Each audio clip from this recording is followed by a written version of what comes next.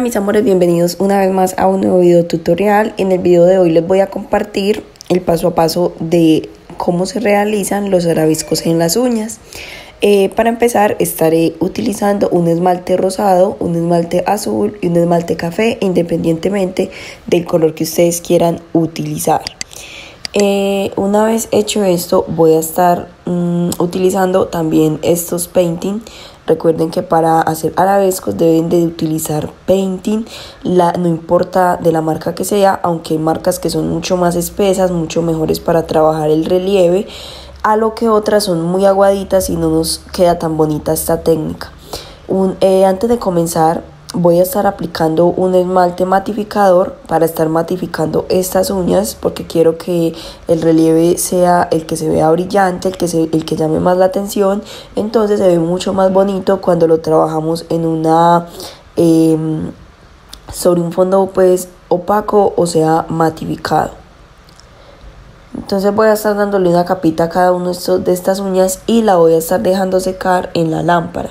Una vez esté seca la voy a sacar y voy a comenzar a trabajar los arabescos. Este es el pincel que voy a estar utilizando, es un pincel muy finito, el cual me permite hacer trazos muy finos y muy, eh, o sea, se tratan de hacer lo más perfectos posible. Un tip que yo les doy y más en el momento en el que vamos a hacer arabescos es que eh, detengan un poco su respiración en ese mismo instante en el que estén trazando una línea.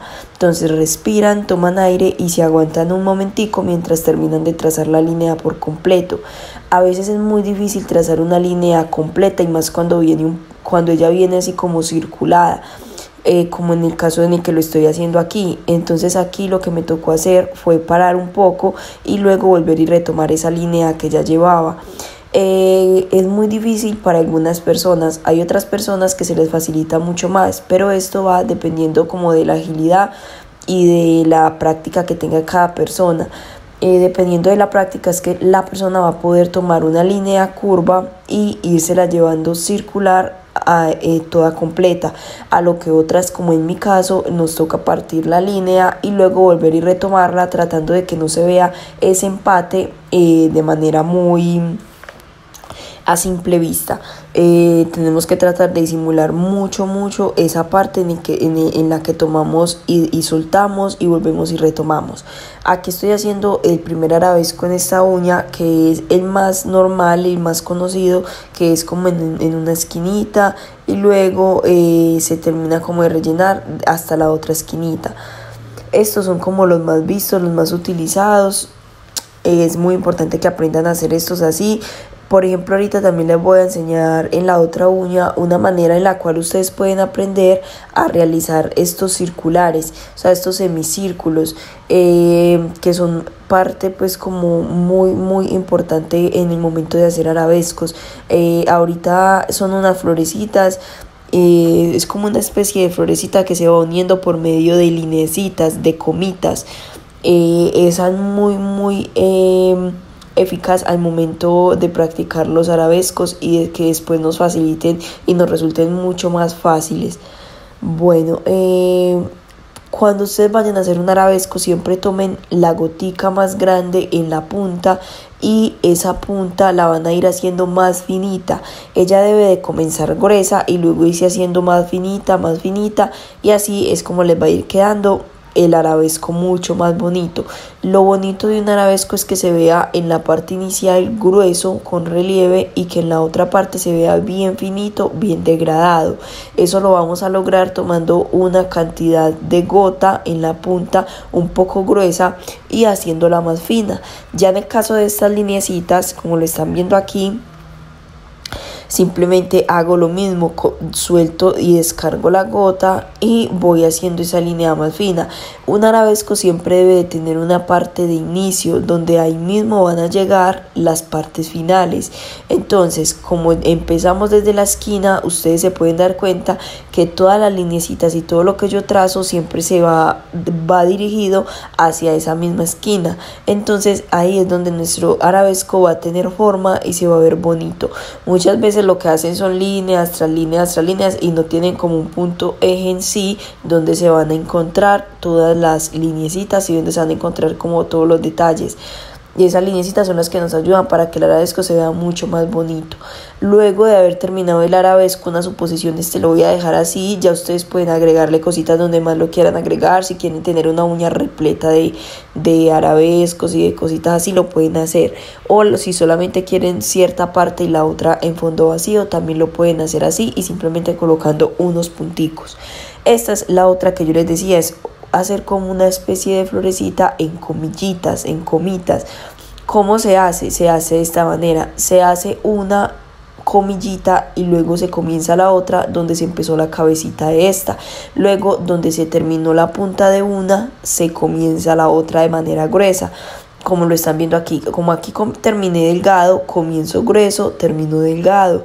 Aquí terminé delgado, comienzo grueso, termino delgado y así se va a ir dando la forma de esta florecita. Una vez hecha la parte del centro vamos a comenzar a hacer las otras partes del otro lado. Aquí lo que hago es una linecita gruesa, aquí la hago luego al contrario y saco de esa, de esa línea gruesecita de la parte inicial, saco dos semirrayitas para que se vea más bonito.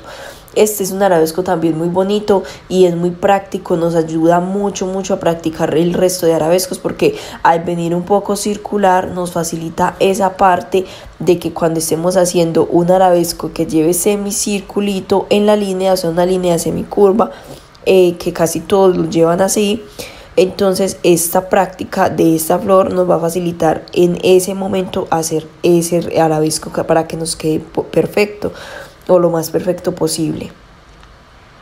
Aquí mis amores eh, me dio dificultad como no tapar un poco en la cámara, pero como a veces me toca cometer la mano y la cámara está en la parte de arriba, entonces tapo un poquito la imagen, pero bueno, aquí en la parte de abajo ustedes ya vieron cómo era el paso a paso. Una vez hecho esto, ya ustedes rellenan como alrededor con unos punticos o, lo o con lo que deseen pues como rellenar.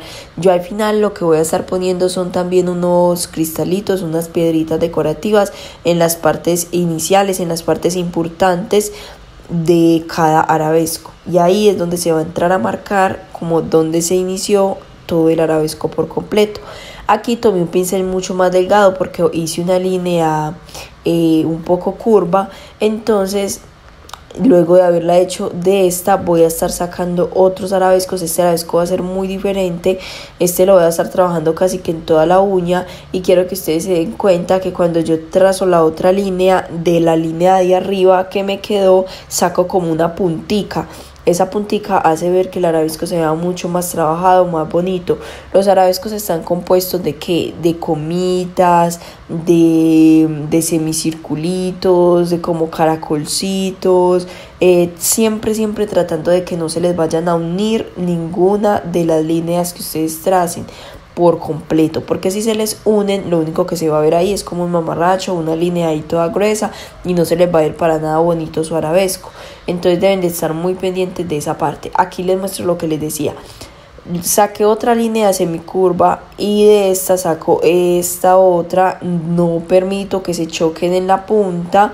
Necesito que se vean las dos puntas totalmente aparte, pero que si estén muy pegadas y aquí hago nuevamente lo mismo me baso siempre en hacer las curvas, curvas, porque este, en este arabesco estoy trabajando todo en líneas curvas por completo. Si se dan cuenta, en la otra traté fue de hacer como semicirculitos, semicomillitas, en la otra hice más bien como unos, em, unos caracolcitos y, hice también como unas líneas más bien rectas. Y en este, y también como un, un tipo de alitas de mariposa. Y ya en este estoy haciendo tanto alitas de mariposa como líneas largas, curvas delgadas y ya voy rellenando ahora sí todos los espacios. Si ustedes aprecian, todo se va uniendo en la misma parte, todo se va uniendo en la punta. Entonces aquí saco otra linecita más de, y se ve como si fuese una antenita de mariposa o una alita y en eso es que se va basando eh, todos los arabescos. Ustedes pueden trabajar los arabescos de los colores que deseen, pero siempre fijándose en, los colores que tengan de base. Si es un, por ejemplo, en este café se había podido trabajar también como con un blanco. Yo en este caso lo quise trabajar con el negro porque ya todas las estaba haciendo con el negro y más para que ustedes me puedan captar bien la explicación.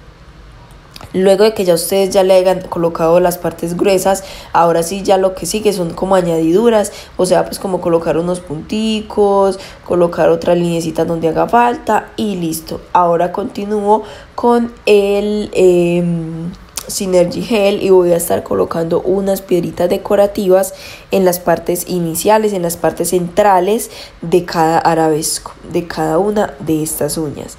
Entonces las voy a ir poniendo, aquí les mostré de manera rápida y así estaría dando ya por terminado este hermoso, estos hermosos diseños. Ustedes pueden trabajar los arabescos, por ejemplo, en un set, solamente en dos uñas o en una uña y ya, para hacerle como más creatividad al set que estén realizando.